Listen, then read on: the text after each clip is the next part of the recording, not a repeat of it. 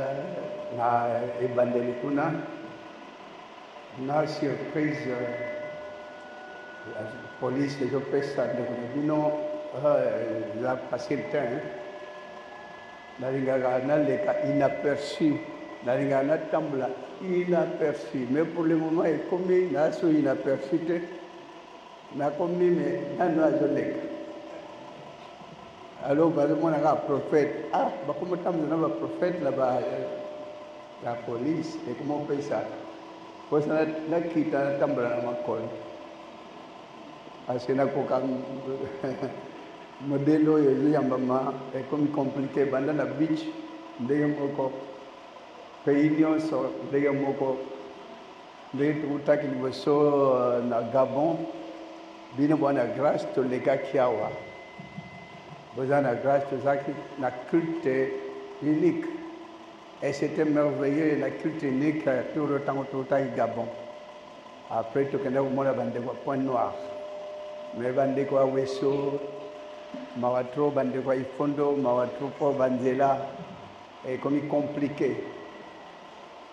Donc mokolo bakobongisa banzela nde totala na bandeko na biso ya Betu mpo tokoma su tomona na bandeko na biso ya ba Ba pygmees tokutanaka na bango na nzela ezalaka tellement bien na nyele na mboka mosusu bonyele ezalaka kitoko nzela wana libota oyo vraiment tellement boyikani makasi Nkolo apambola oyo mobimba. Mais journée yango vraiment nature ezoyamba ndeko na bino mpo nalinga moi te place nazokende place tout okokoma boye nzela nzela mvula parce que moi eshenaka ndeko na bino mais nakomi tellement heureux parce que na climat ezopesa esengo na ndeko na bino Omoni periode mosusu bozalaka nde ba papier ekomi eh, nde ba papier na ba mouchoir nde ekomi tout le temps mais maintenant bovandi à l'aise hein? boza très à l'aise ça fait quand même du bien mpona komona bino na bandeko batondi libanda mais frères et sœurs on a changé certaines choses nous devons changer beaucoup de choses parce que Tango l'etat azuaki decision bokangaka batu nionso bazala na eglise batonga bavanda na kati pour que makelele ebimaka lisusu libanda na ba voisins donc nde tongangaka makasi na koyemba meme accueil na ndeko na bino meme koloba amen bato nyonso bacrie alors tosalaka tapage durne Il fallait meme plus tosala tapage d'urne. Tant tobandaka église, euh, surtout na braza oyoka makelele ya baeglise na butu butu mpo nzambe ayebisaki bango nzambe alinga abanda koyoka mokili na minuit orke c'est pas ça alors makelele na baeglise leta asali effort bareveillon wana makelele ya butu elongwa Makelele na butu, heureusement liloba nkolo asi ayebisaki ke non tokosala makelele na butu te, toko deranger ba voisins te, wana ezalaka tapage nocturne, mais totikala biso na liloba na tapage diurne.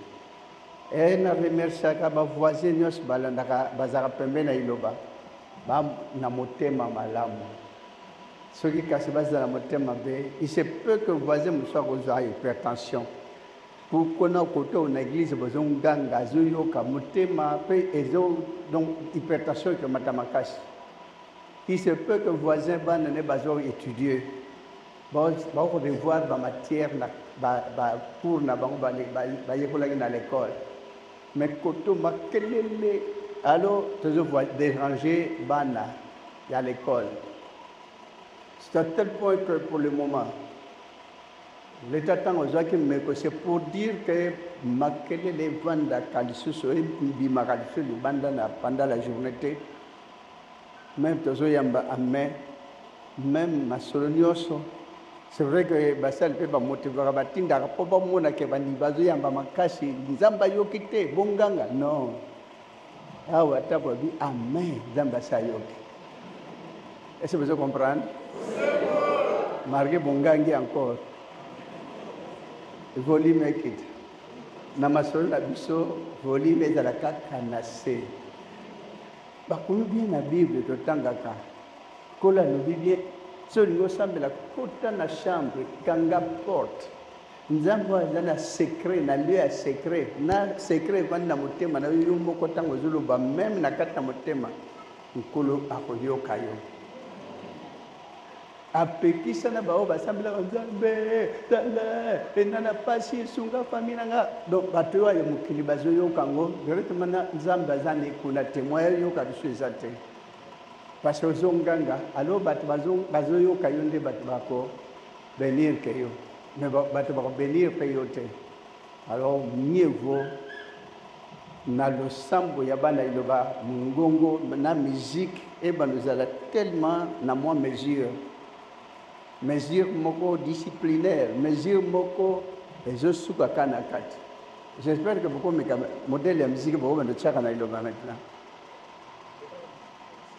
Par rapport ya konganga wana ya nganga to stoppe Peter soma koke emonani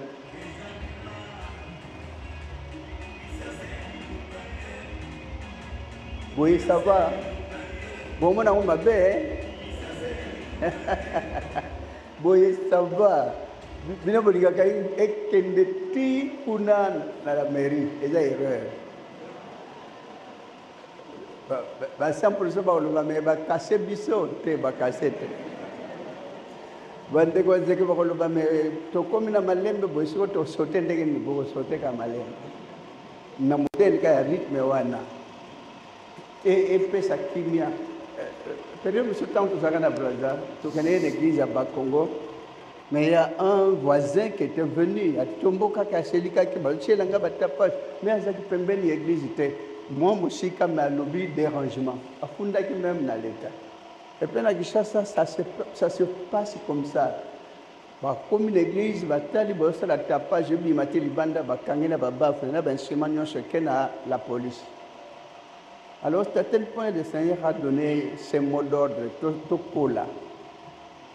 Tango ba mikolo ba vandaka na bana mike, bana bazo tia makelele, ba mikolo ba lobaka bana bozala kuna, bo pusana kuna makelele. Mais mokolo alingaka mwa kimia, voix basse na mateya. Tomonaka te meme na eglise oyo toya kokuta na mokili. Eglise lokuta na mokili, ba lobaka pe modèle sengeli ba sengeli biso nso landa ndenge wana. Donc ndenge na obi amen libota, amen. Amen ba ndeko na Christ. Amen voilà c'est ça nous devons changer po nkolo pe asepela na bana liloba po message ya ba mikolo nde yango oyo liloba personne ne savait tant bando yaka euh, sainte seine ya liboso na na oyo bandimi bazalaka combien nani akozala idée Sainte Seine ya liboso toyaka ki awa à peu près bandimi bazalaki combien tu peux connaître hmm? 600 hein? 500 na tour ya liboso ah mais oyo eza ekendeki na france hein? mpo brazzaville tour ya liboso bandimi bazalaki 80 sainte Seine ya liboso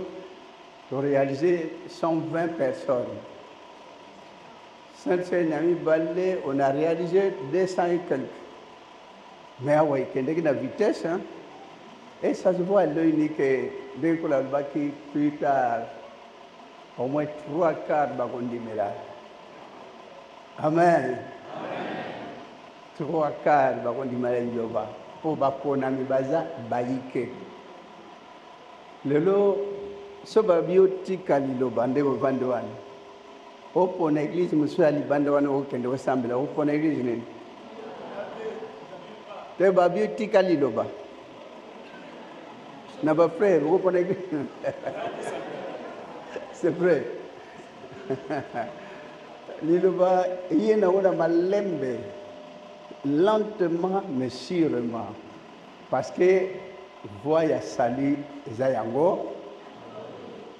Voix ya Sali eza mibale te. Jésus alobaki entre par la porte étroite. Porte eza deux te eza trois te. Porte ya tata ezala kaka moko. Yango wana asali afungoli porte na ye na mokili mobimba. Mpe bato nyonso bakomona mpe bakokota na ekuke wana, na porte wana, basi bakomi baponami na Tata. Don nde bino bovandi wana, bosi boyebi baerreur nyonso oyo bayakaki na yango, baerreur nyonso balozela receve mingi mpe awa basi bakweya na eglise bo bakweyaki yo okopesa nano vision omonaki nini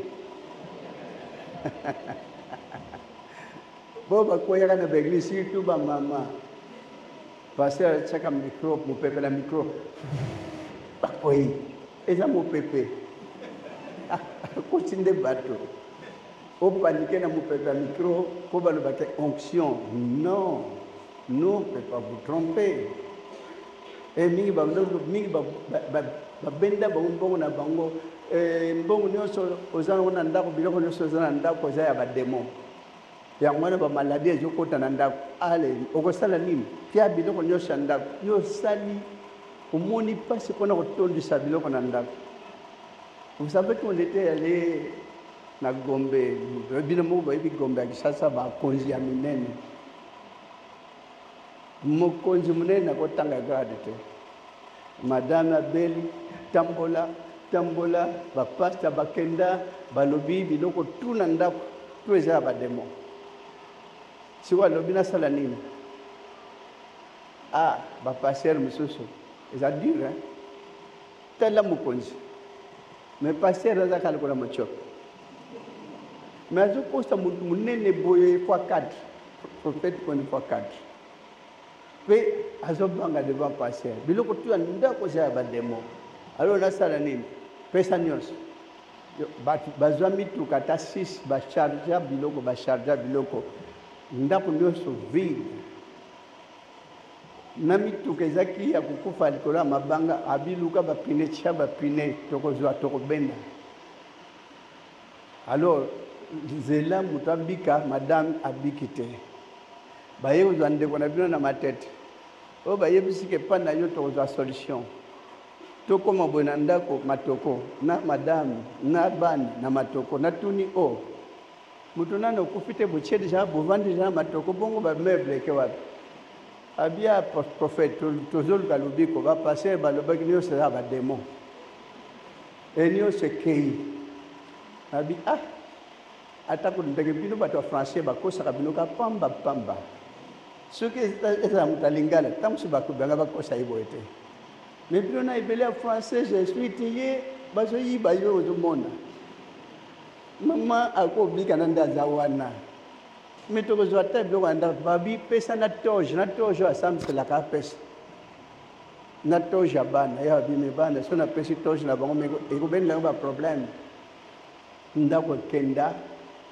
me moto abika te ntango bazotya biloko na motuka babi o oh, mokonzi autorité azodeménage nzoka nde bapaster bazobenda biloko nyonso ya ndako vraiment bible basali oyo ya mokili bayibi bato mingi à travers bible Bible oyo bako yebisa yo kende olala na zamba trois jours mais lukuta. Bible bako yebisa yo zwa nzete tambolaka lokola mobange moko na nzete moko ya molayi. Tant obanda oyaka liboso ah, so olongwe Brazzaville montagne moko ezalaka kote kuna. Boyebi ngomba o? Mibiana. Mibiana. tozomona bato bamata na ngomba na banzete bake wapi bakeoluka nzambe ololol dosibir na brazzaville bamoni nzambe te alors lokola eza ngomba bamata ntango mosusu bapusani pembeni esika nzambe azalaka mais quel conseil mais liloba eyebisi bino Esika tout yo ozali, osenga, osambela Nzambe na yo, obongisa motema na yo, Nkolo azali, aza komona yo, akoyoka yo, akosa. Place tout yo ozali, eponi esika te. Quel que soit le problème, garder confiance na epa na Nzambe na yo. Oyo agardaka confiance na ye epa na Nzambe na yo, agardaka confiance na liloba oyo. Akoyoka soni te. Quelque soit bayini baye un million, ils finiront par fuir, bango nionso bakokima. Mais yo obenge, obengisi bango te, obengani bango te. Olobi te ke, tande ba pasteur balakisa bandimi. Faut otia na position obengana Satan. position alors après okobanda obeta boye eske satan okokima geste oyo akokimaka yango te au contraire osali boye azoseka yo omoni satan abandi nyokola bango satan sor agogoli ye na motu satan sor apesi ye mwa mbata satan mais awa bino balakisi bino bobimisa bobengisa satan te balakisi bino kaka osala malamu Malamu ozo sala tata avandi mobimba kati na yo. Alors pouvoir ya Nzambe evandi kati na yo, le diable akokoka kopusana te.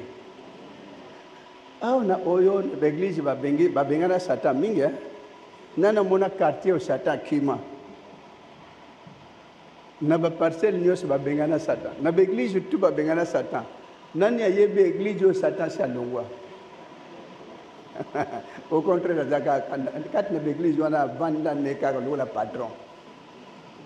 Mais ntango bovandi na loba boza ko appliquer entente harmonie parfaite l'amour Tata azalaka na kati na bino elongo mpe baproblème na bino nyonso ayokaka mpe asalelaka misala minene. Yango wana zala na patience mpo na kolanda liloba, kozala presse presse te. Banda na ye nasali un mois namoni changement te, non non non non, kotala date te, kotala heure te.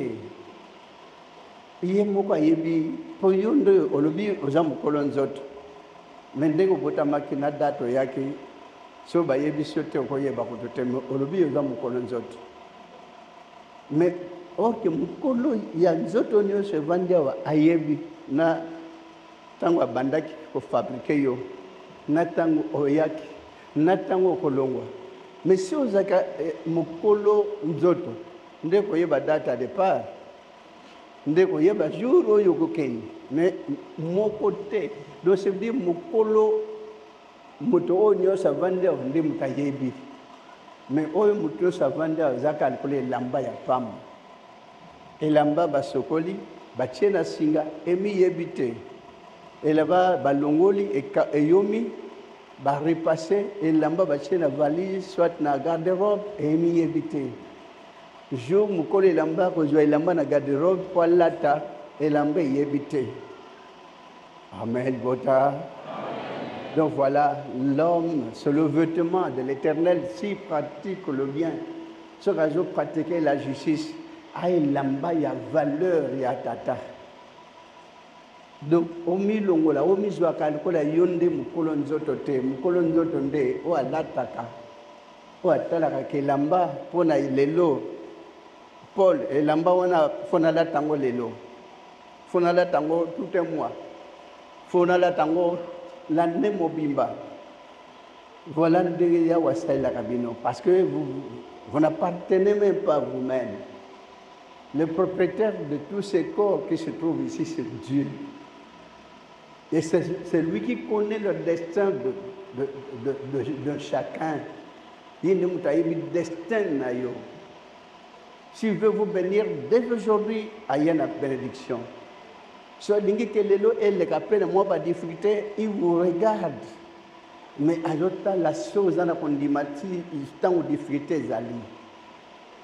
Azotala soki olingaka ye ka ntango ozwi nde olingi ah, Nzambe akumisama comme fut le cas d'enfants d'Israël babanda komona bamystère ya direct direct du tikotak mais lokola bazalaki ade fois na incrédulité babanda ya fois si un problème maintenant bandeke bamoni mystère mais bakomi na doute Bakomi hesitant botala kaka ma eh, fleuve oyo alima banguna baolanda bino me botelemi liboso ya fleuve bwana babwatu te boyebi nage te me baennemi bakomi tout près ekabwani biteni mibale botraverse à sec bomoni mai eforme bamur botraverse Pe ba ennemis bakoti pe na mayi balanda bino bakomi tout pret mayi e engloutir pe bango oh mais alors nzambe wana ya comment comment s'il y a un autre problème une difficulté s'il y a un autre problème comment kozala na doute ke nzambe tosuki nzambe tobebi donc nde ozalaka na liloba miracle nyonso nzambe asalela yo Reconnetaka yango tout le temps. Zuaka yango, tia yango na memoire na yo que Dieu a fait pour moi telle ou telle chose. J'ai vécu telle ou telle grâce. Et tiaka yango na motema na yo ndenge nkolo akobakisela yo ebele mais oyo abosanaka omoni na bible Jesus meme mwana aza na fièvre fièvre elongwe bakomi eza témoignage batémoignage bakoma meme na bible na fièvre ekolongwa me ndenge bino boza bana liloba lelo so tolobi batémoignage oyo eleki na kati ya bino mikolo nyonso oyo me tokobanda lelo ti un mois batémoignage esila te vrai ou faux ya solo bia lokuta donc ti bofanda na moto na moto aza na mwa témoignage na ata moko Mosusu basi akoma nango ata 10. Zalaka toujours reconnaissant na ba témoignages nyonso merveille okola azosala kati na yo. Soyez toujours reconnaissant. Miracle nyonso omoni, miracle nyonso oyoki, merveille nyonso okola azosalela yo, zwaka yango tya na mote na motema parce que soki ozolanda Apesaka bana na ye makambo nyonso wana mpo te a encourager bango mpo na kolanda liloba.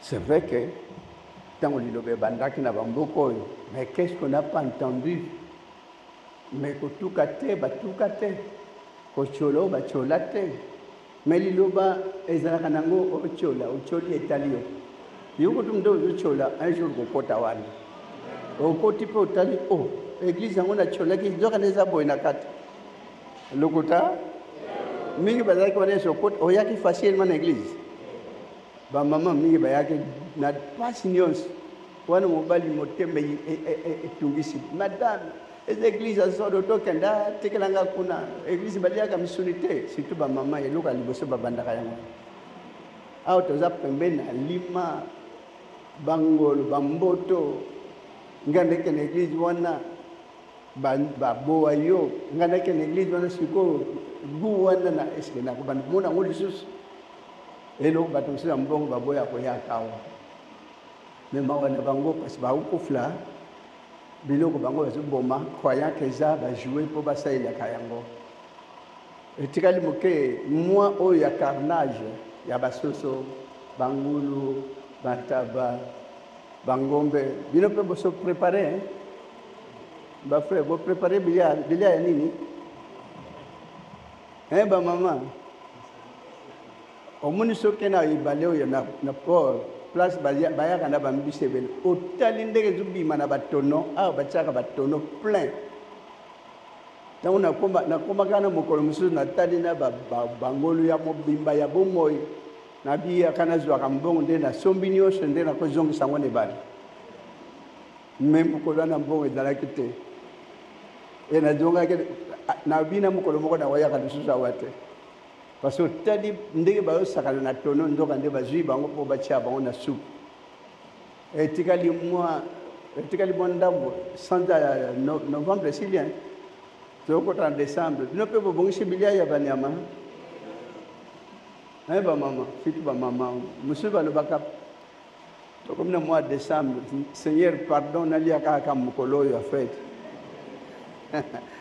mikolo nyonso mosusu donc euh, nalimbisanga kaka mokolo lelo mpo famille batalaka nzambe babi famille babi so nalei te nakomi ndoki tosa nzambe na yo mpo na milia wana eza bilia te lelo bato mingi so otali bango baliaka misolo te me tala poi tala monene tala kilo Mais mususu baza libanda na baliaka mais tala sante lokuta sante on dirait bongo bongo mais aliaka réglementaire mois ya décembre bafete mibale eza koyaka bobongisi mpe bilamba ya fete hein?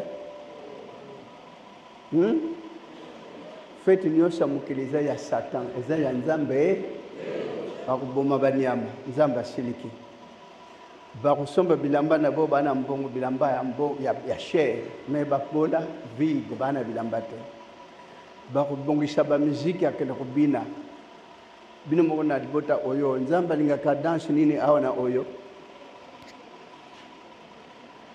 nzambe alingaka danse nini c'est vrai que mwa exhibition ezali mpona koreveille bato baola na ba 100 na bazeke mais na etumbelo badanse bakata ça na pas de sens na danse danse nyonso ya mokili satan akota na kati heureusement ke awa Na Brazzaville ba formaka ba danse te, kuna na Kishasa toyebi te ke danse nini bako former lisusu, nde ba formaka ndombolo, kisanyula, nayebi te soki bako former sizo, on ne sait pas. mpo bato nyonso bakoma kaka kiwelewele amen libota c'est vrai que depuis l'enfance ndeko na bino afetaka mbala moko bamema ye ere wana ekomi ba 9 ans tokende tokende eya noel tokoti bamesa yango bandaka minuit jésus abotami minuit totali noel après babi tokende su bonane natali loyenge alors bafete nyonso elandanaki nayebisi nzambe na ngai Namoni na esengo moko te na ba fete oyo nake ko fete kuna na longwa mboka nake na mission po tokota po Jesus abotami mais na moni kaka desordre loyenge na loyenge nzambe na ngai na banda okende lisusu te alors ba fete tout même bonne année tobandi ka 6 heures navandi ka na ndako na chambre nalali journée mbumba naza na suka ya pongi Wana kuna na libanda bonne annee bonne annee bakoya na porte kokoko me lamuka yaka tokende na bafete na bi merci botingaka na sola na nzambe na nga et tous les fêtes na elamba sika na bando somba te ekona so oza no jeune garçon olati mwa coupe na yo esili epo kwana bimi libanda na otalaka ndenge baosala baloyenge mata kita wana oloba a ah, nzambe na nga Est-ce que bazo comprendre makambo oyo bazo sala? Mais etant encore gosse banda ba 10 ans na bandi dejà koyeba que non non ce qu'on est en train de faire c'est déjà euh, c'est glorifier le diable. Alors ti ndeko na bino ekokoma kaka na bandi otuna nkolo me nzambe namoni baeglize nyonso ekomi na luyenge lakisa nga eglize ya solo ngai na kosambela na mokili oyo mokolo na kokufa namona yo Yo mona nga. Yo za nanu na ba quatrième annee primaire. Obanda osenga kaka mokolo okokufa omona ye. Ye pe amona nga. Ti naza na se awa na mokili oyo nayokaka yo, yo oyoka ngai. En pointre. Nabanda oloba te ke bon Nzambe naza na classe nazwa mayele pesa nga boye ebongo na famille. Non. Namona eglise oyo ya solo asala na mokili oyo. Nalobi te que akomisa nga mosali, loin de là. Nakobanda ndenge nini?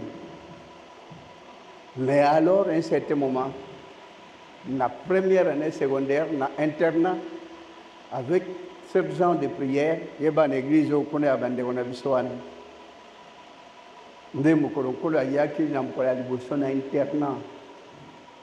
Akiti direct ya makoma mpo nani nazomona nani apongi boye apusani pembeni na nga naye kozwa yo toke likolo oh, jesus natuni jesus no oui nga jesus naye kozwa yo toke likolo mais quel somo kolenga nameka koseloigne natala ye moko mpe azopusana simbi loboko oyo ye toujours concentre boye Jamais tala esika nazali no so atelemi tokei kaka boye nga wana natali kaka me oyo kaka oyo namonaka na filme nde me moyen koloba eza te somo ekangi ti tokota efungwani tokoti ekangami a ah, me mpo na koyeba cantique nouveau me ole otondi te ata okoti baklasse nini eza difficile mpo na koyeba la ville sainte mais impossible Mpo na kozwa liturgie oyo Apocalypse 9 mai eh, soki Yawe akotisi yo kuna te okoyeba te. La seule église oyo ekokisi mokano na Tata nde bakoma na Bible na prière ya Tata na biso mokano na Tata ekokisama na se lokola na likolo. Devant le trône, c'est ce qu'on a toujours fait. Le liturgie en question Mais ba liturgie mosusu eza na ba eglise wana basangisa ba, ba idee ya ba pasteur mais oyo ebimi kaka place moko ewuti likolo eye na bino baponami na tata boyambi yango na maboko mibale que Dieu soit loué et que Dieu vous bénisse parce que c'est pas facile na église batukaka na église mpe balobi kolia te misuni Oliaka matembele, ngai ngai, ndunda. Omoni liloba ntango eyakaki awa liboso, bakutaki difficulté mpo babandi olona ata ndunda awa te. Me nayebisi basali, soki bino bobanda deja kolona balegume, bobanda. Me babandi olona ndunda te mpo bilia etonda nango, banyama etonda nango, bambisi etonda nango, alors babandi okipe biloko wana te.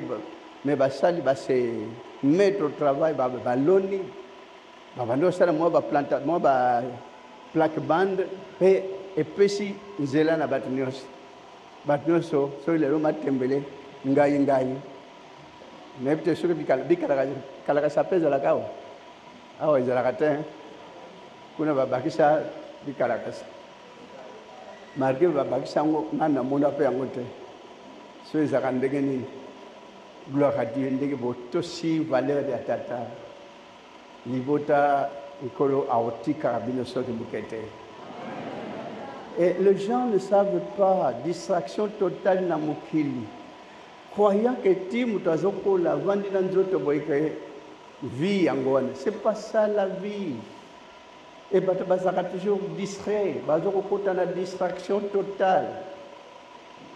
Moto te azo vivre to azo lia to azo lata te azo bina il connaît même plus que un jour nzoto ekolala après ya defa azo boya ke temps ya nkolo so ekokisami ekoka te esalema te mais c'est obligatoire mais ntango moto akolongwa na vie oyo na nzoto oyo ebiento tokokana kosala so exercice ya sommeil Moto nyonso akende ndoto. Lelo so totuni bandoto oyo elotami lelo awa 5 ezala moke. Moto na moto akozala na ndoto na ye. Mais qu'est-ce qui se passe Comment Voilà comment Dieu explique l'homme que ntango olalaka mais ya ame eza na kati na yo elali te nde baloba nzambe alalaka te ame ya moto mpe elalaka te Pe comment on voit que c'est veritable ame ah, c'est ça. Paul alali na Brazzaville yo na oyo omoni Paul na bilamba lati na mungongo na ye. Voilà comment les âmes se rencontrent. Na mungongo na ye, na elongi na ye.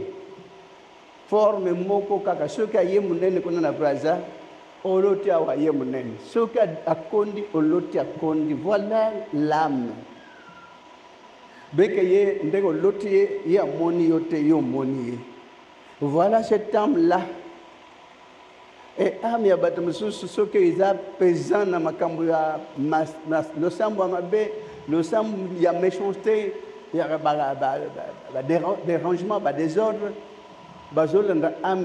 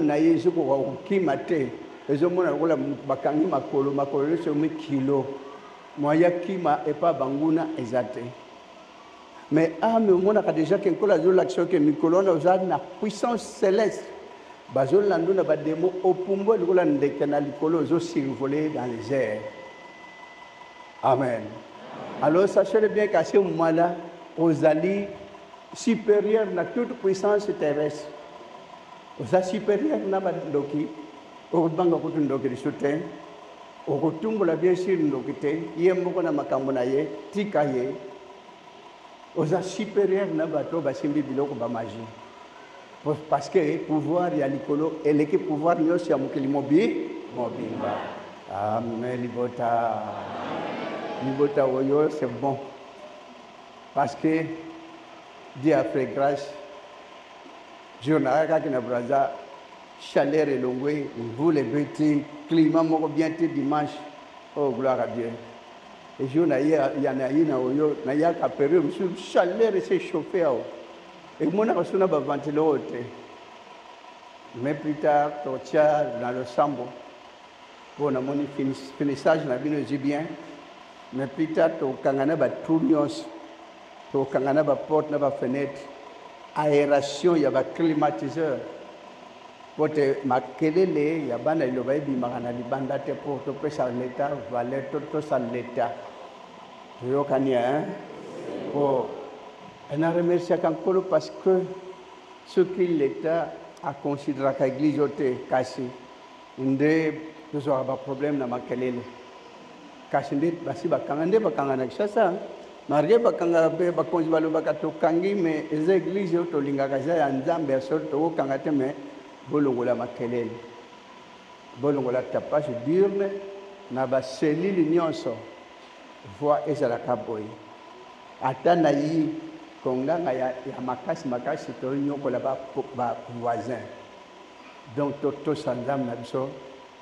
Kosambela na kati na motema.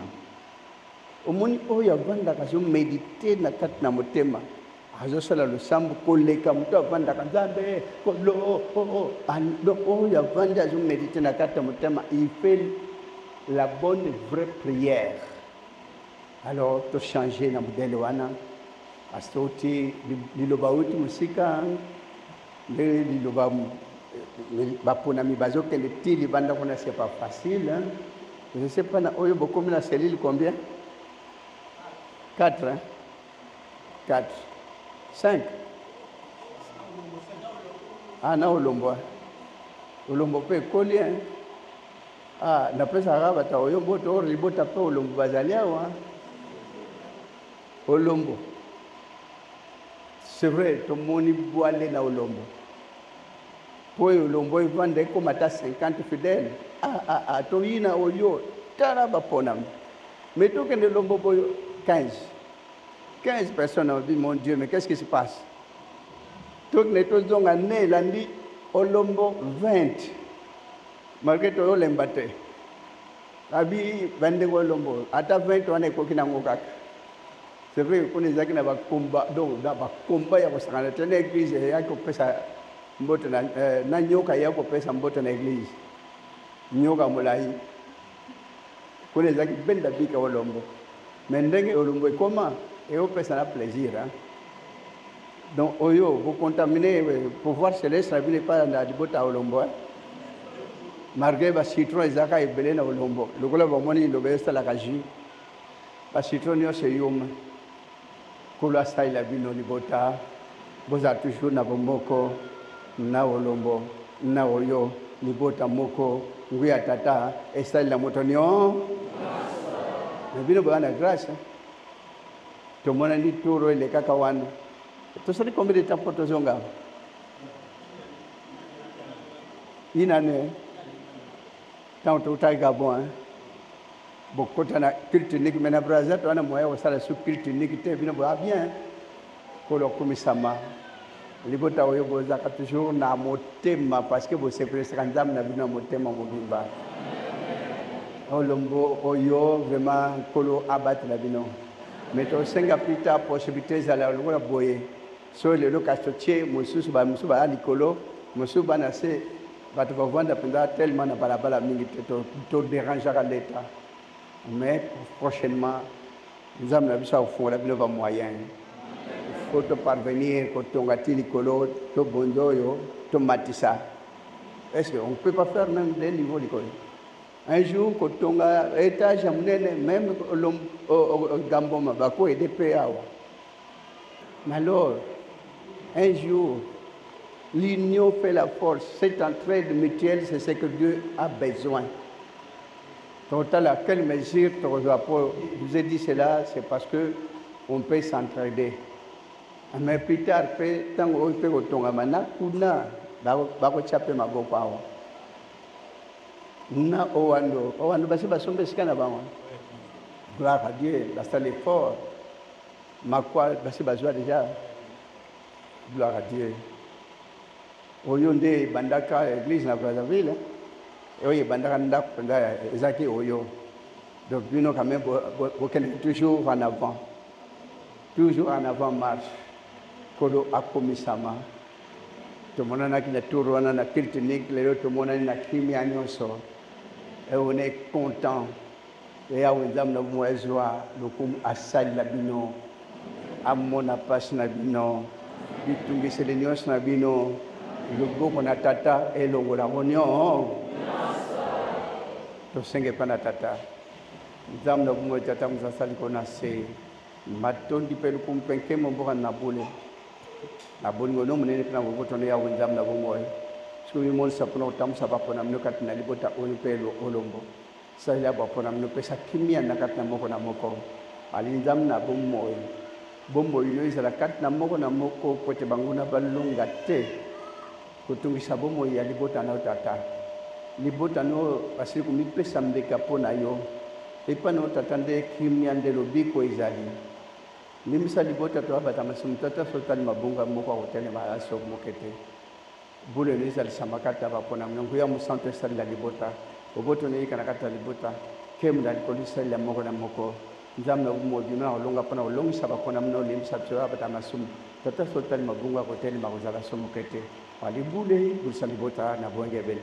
Zala makasi na moko te kati esika mpo na kokola boyengebene. Lisiko ezali koyikana, tika ete libota bazwa mayaka oyebisa molongo ete Yawe azali Nzambe na bomoi, sikoyo sala maye kati na bakolami na ye, misala na yo tata eza misala ya kokamwa, misala na nguya, loboko na nguya ya mobali ekosala na molende, yokisa libota esengo na kobikisa yo te libota basambwe na mokili, tika ete bolingo tata, mwana, molimo mosantu ekala na likolo eyikana kati na baponami na yo, ebota mbuma mokama na mokama, kimia ezala kati na baponami na yo, nguya mosantu esala. Mokano na yo, Yawe Nzambe na bomoi, ekokisama na kati na libota, na kombo na Yesu Kristo na Nazareth, na nguya mimi mosantu libela libela kino bongo na seko. Amen. Boboto na kombo na Yesu Kristo na Nazareth.